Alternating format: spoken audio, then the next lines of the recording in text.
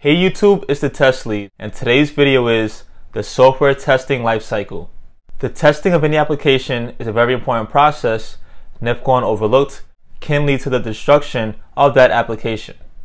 Poor user experience because of bugs can make users not use the application at all.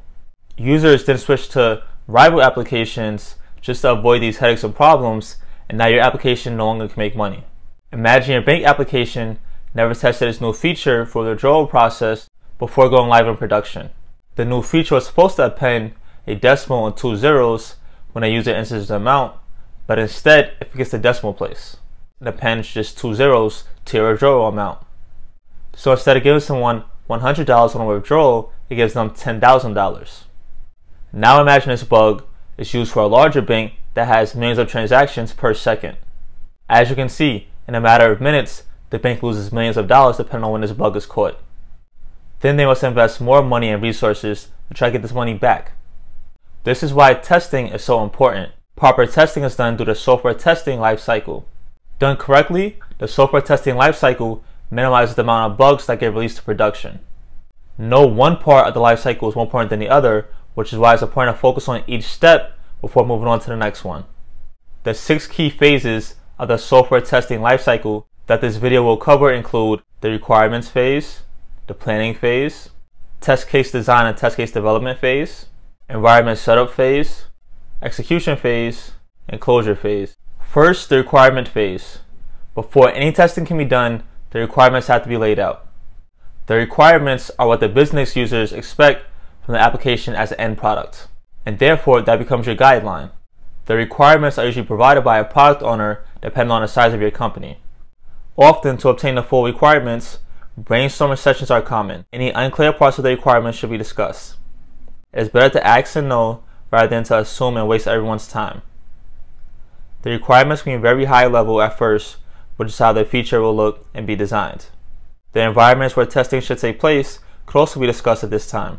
There are usually two different types of requirements, the functional and non-functional requirements. Functional describes how the application will act or function and non-functional requirements is you the look or feel of the application. The planning phase. Now you have gathered an image of how the end result will look like from the requirements phase, but now we need to plan out how we will safely get there. The planning phase documents the testing strategy. Think about the various approaches available. In this phase, it should be discussed what resources are going to be allocated to the testing and what metrics could be used for tracking the testing efforts. The testing tools that will be used should also be discussed in this phase. All of this should be documented in a test plan. The test plan should also include the testing cycles, the scope of testing, the type of testing that will be done, functional and non-functional testing, and finally the environments that will be used for testing. The expected deliverables should also be planned out for what should be expected at the end of each phase, as well as the roles and responsibilities for anyone who will be participating in the testing. Test case design and development phase. So now you have a destination from the requirements phase, and a map with how you plan to get there from the planning phase. But now it's time to look at every turn you will make to actually get to your destination. In the test case design and development phase, you will plan what will be the required test cases to at minimum meet all the requirements previously discussed. After tests have been written to at least meet the requirements, you can start to think outside of the box about edge cases and negative tests that should also be accounted for in your testing practices to make sure that the end user does not have a bad experience you should try to get as much test coverage as possible. Test cases should be very descriptive, in a sense where anybody who's not even familiar with the application should be able to pick it up and follow the steps and perform the actual flow of the test. This is very important because teams change often. Also, a year later, you don't go back and regression test this manually and can't figure out the steps because you're not familiar with the application anymore. The test case should also list the expected results from every test. Also in this phase, you should see what test data is required for your testing practices. Do you need certain credentials to access this application? Is there a specific setup or does data need to be preloaded into a database so that adequate information can be returned from your testing to simulate a real life user? For organizational purposes, groups of similar test cases can be organized into be a test suite. Make sure at the conclusion of your test that your application can be placed back to the previous state how it was before your test. Any database changes should be reverted back, that way it does not affect any future testing for other tests. If your team has the resources, it should also be communicated about what testing should be automated during this cycle. Environment setup phase. So we have our destination, our map, and our step-by-step -step directions, but now what vehicle will we use to get there? Will it be a bike, a train, or maybe even a car? What architecture is needed? What is required for your environment to correctly mimic a production environment that end users will use? Maybe you will need multiple environments. Now is when this must be communicated and allocated properly. In this phase, you should have the hardware, software, configurations, test data, and network that you will use to carry out your testing. This is all included in the testing parameters that you are setting up. Once the environment is set up, smoke tests can be performed to ensure that the environments are properly set up.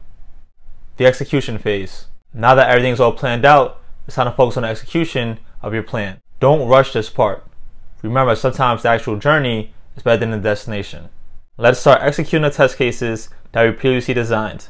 The test should be prioritized in case of time and resource restrictions. Focus on the core functionality first. The results of all the testing efforts should be tracked and recorded. Any bugs or problems found in the testing should be logged and communicated as soon as possible. An analysis should then take place to see if that bug should be fixed before the release or can be backlogged until after.